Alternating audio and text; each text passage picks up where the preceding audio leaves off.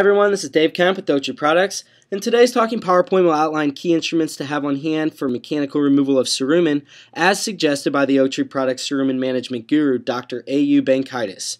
Which instrument to use is mainly a matter of personal preference, but several factors should influence your choice, including cerumen consistency.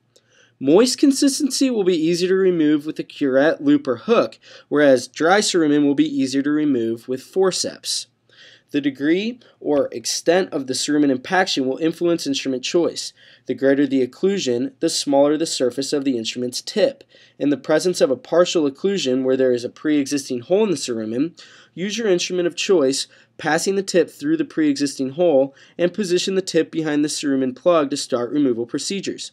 With a complete occlusion, choose an instrument with an extremely thin tip, such as the day hook, which will offer the least amount of resistance to the cerumen plug, allowing you to create the necessary hole in the plug without pushing the cerumen impaction further down the ear canal. Once a hole is created, switch to an instrument with a more substantial tip. As Dr. Bankaitis says, three is the key. 1. Pick an instrument for moist cerumen, such as a loop, Shapleigh curette, or a buck curette.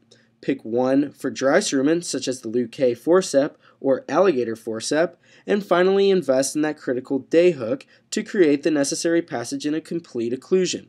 For more information, be sure to check out the cerumen management section of AU's blog at aubankaitis.wordpress.com. Thanks for watching. Arrivederci.